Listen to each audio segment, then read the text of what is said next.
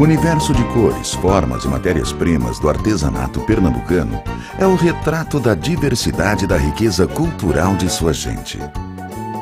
Esculpidas em madeira ou modeladas no barro, as imagens sacras são testemunhas da religiosidade popular.